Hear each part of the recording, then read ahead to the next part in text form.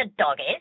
It's walkies. We get taken out into the street or local park and then have a great big steaming shit. Sometimes it's so big I piss all over my fucking legs. And the best bit is, you gotta clear my crap up, stick it in a bag and pop it in your pocket.